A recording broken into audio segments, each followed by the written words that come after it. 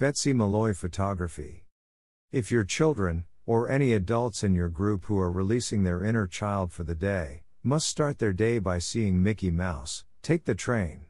Get on at Main Street and take it straight to Mickey's Toontown where you can see Mickey in his dressing room as soon as you enter the park. But check the day's schedule first to be sure he will be home to receive you. You can also take the train to get out of the park in the evening. In fact, the train from the Tomorrowland station may be a better option than the monorail for doing that because fewer people know it's there. The Disneyland Railroad is perfect for kids who love trains, but there are more Disneyland rides that are great for your children.